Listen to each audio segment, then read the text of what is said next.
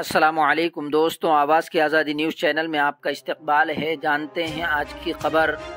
मुदखेड़ शहर में राष्ट्रवादी पार्टी के कौमी सदर शरद चंद्र जी पवार के बयासीवीं योम पैदाइश के मौके पर 10 दिसंबर को सरकारी रेस्ट हाउस में एनसीपी मंथन कैंप वेधा भाविशी विचार एनसीपी का प्रोग्राम मुनद किया गया।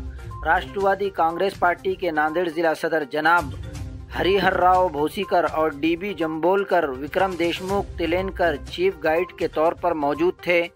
एनसीपी मुदखेड़ सिटी सदर मोहम्मद बुरहान, यूथ कांग्रेस के ताल्लुका सदर हनुमंत नेचर, प्रमोद देशमुख, संतोष दर्शनवाड़, खवातीन ताल्लुका सदर पूजाताई, मोहम्मद साजिद, बालाजी बाले, सूरज कोड़ाली, यूथ वर्कर्स राहुल, खवातीन कारकुनान, सिटी सदर गंगा सागर ताई विशाल महाजन, ओमकार, उनके साथ प्रोग्राम में बड़ी तादाद में खवतिन और एनसीपी के नौजवान अहदेदार और कारकुनों ने शिरकत की। सर्व सन्माननीय कार्यकर्ते उपस्थित महिला उपस्थित मित्र।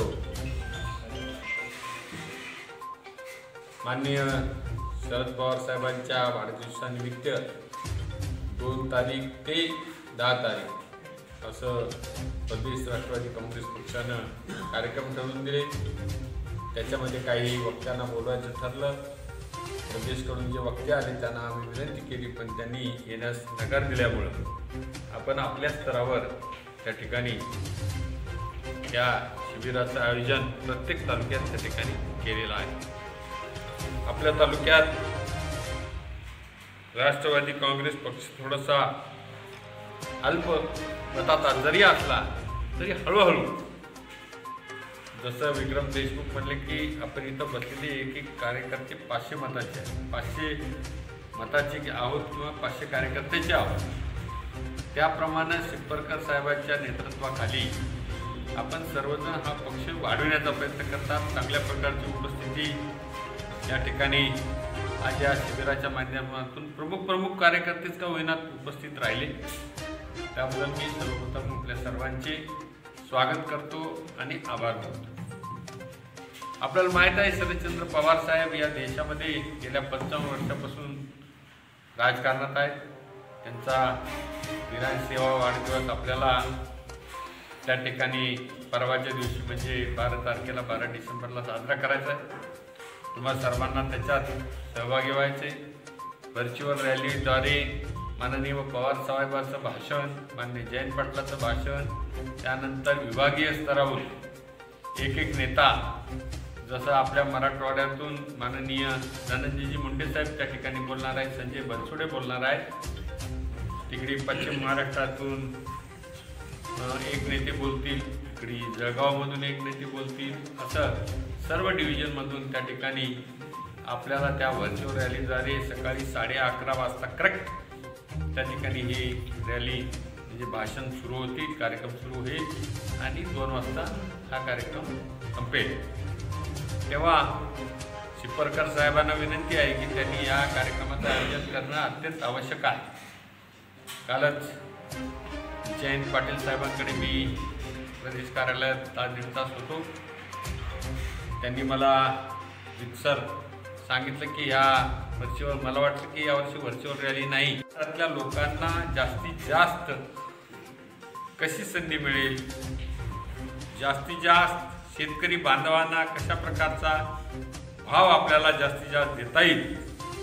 अशा प्रकारचं काम त्या ठिकाणी केलं आहे आपल्याला माहीत आहे की या राज्यामध्ये सुरुवातीला महिला धोरण जर कोण आणलं असेल तर शरद पवार साहेबांनी स्थानिक स्वराज्य संस्थेचे पहिला महिला धोरणानुसार सुरुवातीला आम्ही ब्याण्णवमध्ये जिल्हा परिषदेमध्ये ज्यावेळेस पहिल्या प्रथम गेलो त्यावेळेस आमच्यासोबत तेहतीस टक्के महिला त्या ठिकाणी जिल्हा परिषदेमध्ये खंबीरपणानं त्या ठिकाणी उपस्थित राहत होत्या सभागृह गाजवत होत्या. त्याच्यानंतर साहेबांनी हे धोरण बदलून पुन्हा पन्नास टक्के आरक्षण मग ग्रामपंचायतीमध्ये केलं. ज्या ज्या स्थानिक स्वराज्य संस्था असतील त्या सर्व स्थानिक स्वराज्य संस्था त्याच्यानंतर कोऑपरेटिव्हमध्ये सुद्धा एक दोन महिला त्या ठिकाणी असल्या पाहिजे. मग आमची जिल्हा बँकेत सुद्धा दोन महिला आहे बाकीच्या सोसायटीतसुद्धा एक महिला त्या ठिकाणी घेणं करणं प्राप्त आहे. म्हणून सर्व क्षेत्रामध्ये महिलांना संधी दिली. या देशामध्ये मंडल आयोगाची जर अंमलबजावणी कोण सुरुवात केला असेल तर शरद पवार साहेबांनी केली. पवार साहेबांनी मंडल आयोगाद्वारे आपल्याला ओबीसीला आरक्षण देतात. ओबीसीला सत्तावीस टक्के आरक्षण त्यांनी त्या ठिकाणी दिलं. ओबीसी वर्गाला न्याय दिला. ओबीसीच्या कॅन्डिडेटला कोणी कोणी निवडून येऊ देत नव्हतं. सामान्य लोक. त्यामुळं ओबीसीचं आरक्षण केलं. त्यांना संधी मिळाली. पन्नास टक्के आरक्षण. सर्वसाधारण लोकांना राहिलं. त्यांनाही संधी त्या त्याद्वारे मिळाली. म्हणजे सर्वांना संधी देण्याचं काम शरद पवार साहेबांनी त्या ठिकाणी केलं. केंद्रीय संरक्षण मंत्री असताना महिलांना सुद्धा पूर्वी फक्त पुरुषांनाच त्या ठिकाणी संरक्षणाच्या क्षेत्रामध्ये काम करण्याची संधी मिळत होती.